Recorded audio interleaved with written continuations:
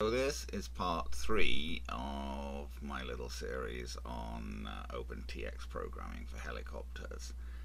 Uh, the first part dealt with uh, distinguishing between different types of helicopters from the point of view of transmitter control, and the second part dealt with programming the most common type of helicopters uh, these days, that is helicopters with inter flybarless helicopters with internal flight controllers uh, that give direct, uh, but still giving direct control over pitch from the transmitter. Um, this third part deals with uh, programming of a, a, small subtype of helicopters, essentially helicopters, flybarless helicopters with internal flight controllers, which don't give you control over uh, pitch from the transmitter. Uh, and that would basically really be WL Toys helicopters. I'm not personally aware of any others that are like this, though there may be others. So um, here we've got the, um, the the WL Toys V977, the WL Toys V950, and this is WL Toys V930, which is actually a fixed pitch helicopter. So uh, it doesn't have pitch anyway, but essentially almost, well, pretty much exactly the same program will fly it. Although, of course, you won't get idle up mode because it's not a, um, collective pitch helicopter. So let's look at the programming. Now the programming for these helicopters is, is the simplest of all, simply because everything's pretty much done by the flight controller. You just have to set channels up to give the appropriate commands to the flight controller. Um, I've set uh, the particular example I'm looking at here was set up to, to use the for the V977 and I was flying the V977 with it. I've got a five minute timer on it and that's uh, contingent on logical switch 1. Logical switch 1 is an A is greater than X condition on channel 3 throttle greater than minus 80. So that means that the timer will be on whenever the output throttle is above minus 80. Um, about, about the only other thing I've changed on the main setup page is I've switched my uh, SF warning so that SF warns when it is forward rather than back because I, I, like to use SF towards the back of the transmitter for throttle active and away from the back of the transmitter for throttle hold so I can flick it off easily. Um, I'm using a Jumper T16 so to, for control I'm using the internal multi-protocol module uh, the appropriate protocol for these these helicopters, the WL Toys 977, 930, and 950, it's these KN with the subtype WL Toys. And this does work, I am flying them with it. Again, because these have an internal flight controller, we're not doing any CCMP mixing, so we don't need anything on the heli page. In the case of these helicopters, we don't really need flight modes. There's no point having flight modes because we can't do anything useful with flight modes in the transmitter, really. They're all just programmed in. There are only two flight modes, basically, normal and idle up, and they're programmed into the, um, into the onboard flight controller. So as I say, this is the simplest of all because we're, not, we're just not doing very much with it. Um, and I see I actually have a mistake here got expo on my rudder and not on my elevator, which is clearly not what I intended. Um, whoops. You. What I intended was to have expo on the aileron and the elevator, but not on the rudder. You really don't want to program much because um, most of it's done for you in the flight controller. You can put some expo on the control if you want, but you've got to remember that anything you put on the controls here is going to be added onto what they've already coded in the uh, in the um, flight in the flight in the onboard flight uh, controller. So you've got to be a little bit careful about putting too much in. So we've got aileron on one, elevator on two, throttle on three, rudder on four and then we've got four more channels and all these channels are basically just emulating switches on the WL Toys own controller and controlling things in the flight, the onboard flight um, controller. Uh, channel 5 is corresponds to the rate switch on the um, on the, uh, uh, the WL Toys own controller. It switches between between high and low rates. Again, we're not setting the rate here, the rate is programmed into the controller. We're just telling it.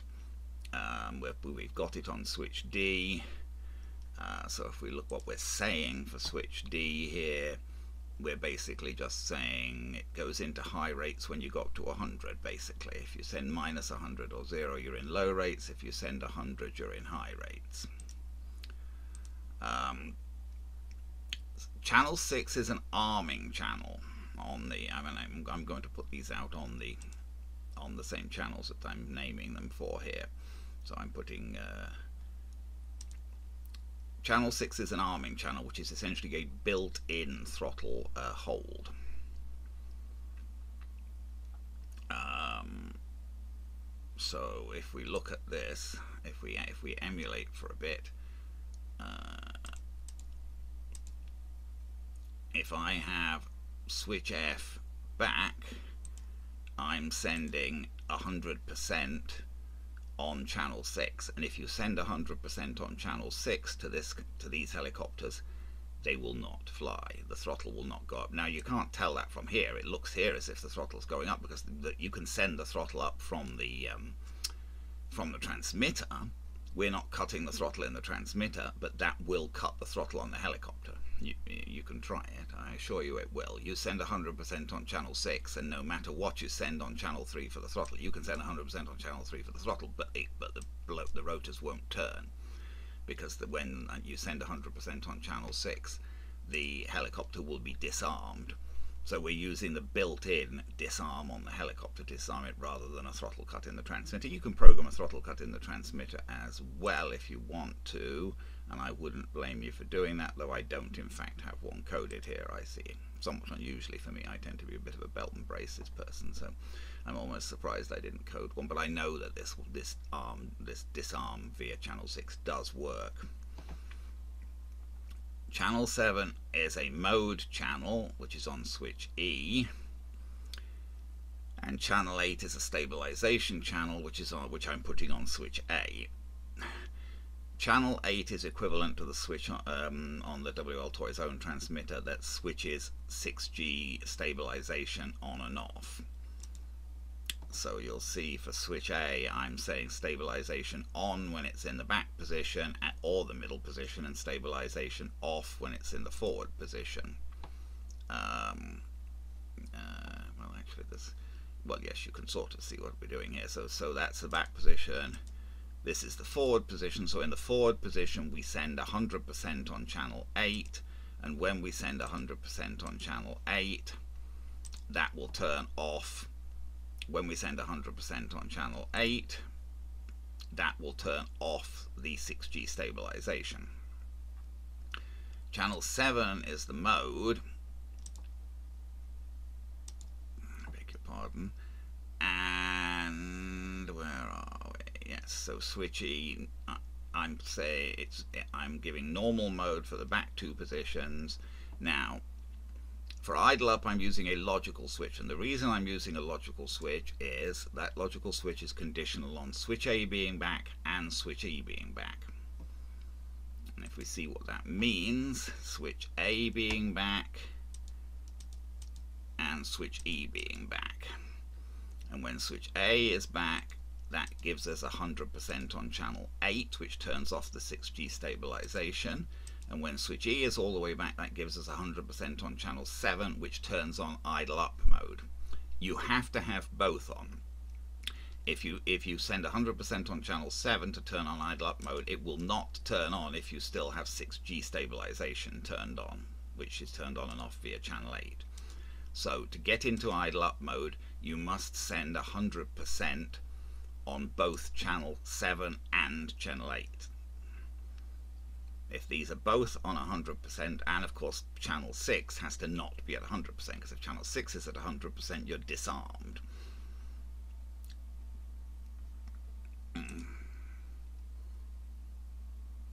Which would be probably a good, another good thing to add, really. Um, uh, where is that? Uh, the disarm. We're armed when switch F is back. So really we should have switch F back in there as well. Because to get into idle up mode we must have channel 7, 8 at 100% and channel um, 6 not at 100%.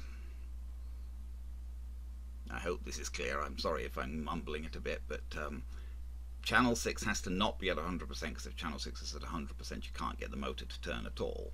Channel 8 has to be at 100% to turn off 6G stabilization mode and channel 7 has to be at 100% to say you want idle up mode. If all those conditions are met, then you will be in idle up mode and we'll say idle up and the motor will turn.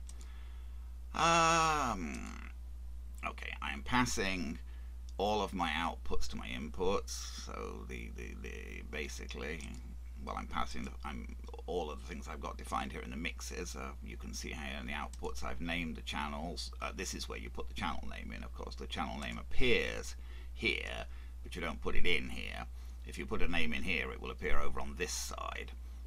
These names that appear next to the channels come from the output page. And the channels are indeed aileron, elevator, throttle, rudder, rate, arm, mode, and stabilization. The, the channels 1 and 4, the aileron and rudder, have to be inverted. You have to be reverse the direction of them. We do not use any curves whatsoever for these WL Toys helicopters because they don't. It's not useful to cur put curves in. You can't put a pitch curve in because you have no control over the pitch. You could put a throttle curve in, but it's not a particularly good idea because they've already got throttle curves hard coded into the onboard flight controller. So if you put a curve in, you're superimposing your curve on theirs, and that can produce some pretty strange results. So I would suggest you don't put curves in unless you're really unhappy with the way the throttle's going. Um, I've only got two logical switches at the moment, one to switch on the timer and one basically to, to play a sound telling me I'm in idle up mode. Uh, so um, we're playing arm disarm, we're playing low rate, high rate, and we're using the built-in rates, not programming our own rates. We're playing normal mode or idle up. Um, and we're playing stabilization on or stabilization off. These are all just sounds that are telling us what the switches are doing. So if we not, if we don't quite remember what we programmed the switches to do, when we flick them, we'll hear the sound telling us what they do.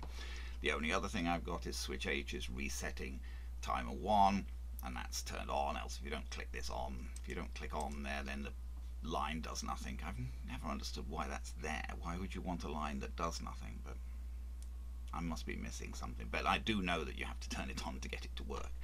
Um, that's just basically so you can put another battery in the helicopter and then you know flick the momentary switch back to reset the timer. And that's basically it for these helicopters simulating them really doesn't achieve all that much. Well, I mean, it shows you what you're sending from the transmitter, but it doesn't simulate how the helicopter's behaving because most of the behavior of the helicopter, like, you know, going into idle up mode, uh, is controlled by the onboard flight controller. So you can't really see it very much from here. Um, but uh, I have used the, the, the, Jumper T16 with this kind of programming. I did make a couple of minor changes here to clarify things, but um, basically I've flown my uh, helicopters with this. You can use exactly the same program to fly the V930, which is a fixed pitch helicopter um, it just it just doesn't have an idle up mode because it's a fixed pitch helicopter, and I'm not sure whether the stabilization switch actually turns stabilization off on the V930. You can certainly fly the V930 with this program because I have done. Basically, I've just copied the same program and flown the V930 with it, and it does indeed work. But obviously, because it's a fixed pitch helicopter, um, it's not going to do all the same things. Um, I'm not, as I say, I'm not 100% sure. Think the transmitter that comes with the V930, I don't think, as per the manual, actually has any way to turn the stabilization off, and I'm not sure whether uh, sending 100% on channel 8 actually does turn the stabilization off on the 930. Oh, one other function that is defined in the um, manuals for these is the hover debugging. Uh, I have not made any attempt to implement that here. Uh, I don't quite understand how it works from the transmitter anyway, and in any case, you don't really need it if you're using a programmable transmitter, because the point of the hover debugging basically is that it essentially stores trims in the onboard flight controller. That's basically what the hover debugging feature does in, uh, in these helicopters. You set up uh, trims on, you do a trim flight and set up trims on the transmitter, and then when you land it and press the hover debugging key on WL Toys transmitter again. That stores those trims in the the flight controller. So when you if you fly the helicopter in future with you, your transmitter trim set to zero, you're still getting those same actual trims on the helicopter. I suspect it probably uses um, channel 9 because that's the next available channel to in some way to control that. Mm, but I, well, I really don't know quite how it does it. Uh, maybe sending some value on. I, am speculating really. I, I, don't know, and I'm not try. I haven't tried to implement it here. Um, so, but this is, I believe, I think we've covered everything here. It's really not a lot because several pages you don't use at all. Don't forget to reverse 1 and 4. And that's basically it, really. Uh, that should give you everything you need to control the V977 and the V950 and more than you need to control the V930. Again, of course, if I've not been clear about anything and you have any questions, do ask in the comments and I'll do my best to clarify, to respond as best as I'm able.